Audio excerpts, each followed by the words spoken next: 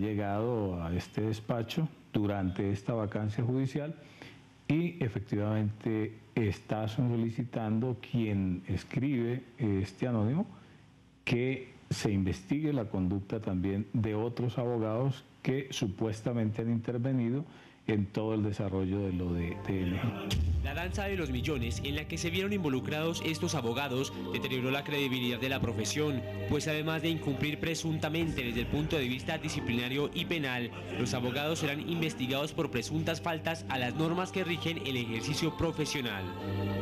En el caso de la jurisdicción nuestra estamos hablando de faltas al deber. Los abogados tienen una obligación de cumplir con un mandato ese mandato tiene que estar dentro de unos parámetros de legalidad. El asesoramiento tiene que ser un asesoramiento de carácter legal, no ilegal. Sus abogados que lo defendieron a capa y espada antes de abandonarlo, ahora están en el ojo de la justicia colombiana por sus actuaciones durante la defensa de David Murcia al lobby en el Congreso del que es acusado el más recordado de los defensores por todas sus intervenciones, Abelardo de las Priella, se suma la acusación en contra de Gustavo Salazar por promover una recusación contra el juez José Reyes. Los extraditados en la historia de Colombia han sido en su mayoría los grandes capos de narcotráfico y últimamente paramilitares. El caso de David Murcia es complejo y distinto, aunque fue llamado por las autoridades norteamericanas por el delito de lavado de activos por narcotráfico. Si hay un juez en los Estados Unidos que tiene pruebas contra un individuo, cualquiera que él sea en Colombia, de haber quebrantado la norma en los Estados Unidos, hace la solicitud con base en ese acervo probatorio que tiene allá.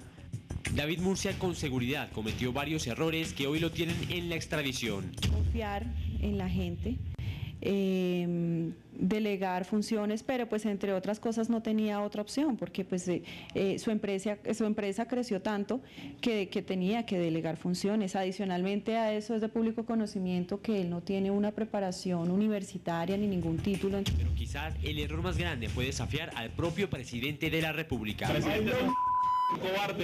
Otro error fue haberse enfrentado con el gobierno. Desafortunadamente, em, el señor David... Em, no sé, en, en, en, en, la rabia por ver que su emporio eh, y su empresa se caía como un castillo de naipes, eh, se enfureció y se fue en contra del gobierno. El futuro de David Murcia y lo que él llama su familia queda por ahora en una especie de congelamiento que quizás se irá derritiendo poco a poco mientras nuevos secretos empiezan a destaparse y nuevas peleas salen a flote. En cuanto al futuro que le espera a David Murcia aquí en Colombia, la última palabra no está dicha.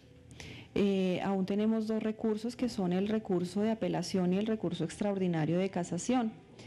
Eh, vamos a intentar eh, y a utilizar todos los medios para que no solamente se haga una revisión aritmética, como te decía, porque pues al parecer el juez le aplicó una norma que no debió haberle aplicado.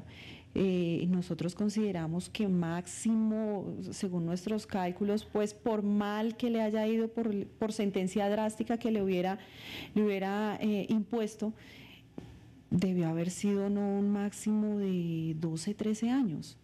Y mira que, que, la pena fue, duplica, más del doble de esa cantidad. La norma también dice que debe, para aplicar una condena, deben partir del mínimo, el juez partió del máximo, partió de una norma que no debió haberle aplicado, debió haberle aplicado la norma más favorable, es un derecho constitucional. Ahora solo queda esperar el juicio en los Estados Unidos y el llamado ventilador, el cual aparentemente salpicará a muchos de los que lo acompañaron y apoyaron durante las vacas gordas, y al ver que el barco se hundía lo abandonaron. Aún quedan varios interrogantes sobre todos los colaboradores de David Murcia en el montaje de empresas fachadas, movimientos de grandes sumas de dinero al exterior, contactos con altos funcionarios del gobierno. Todo depende de si hay pruebas testimoniales, si hay pruebas documentales, en qué jurisdicción se estén ventilando cada una de esas pruebas. Lo más importante para todos, la devolución del dinero invertido ingenuamente por miles de colombianos, porque hasta el momento esa platica quizás se perdió. Los que fueron partícipes de este fenómeno se aprovecharon de ese, de, ese afán que tenía el pueblo colombiano y que siempre lo ha tenido por el dinero fácil.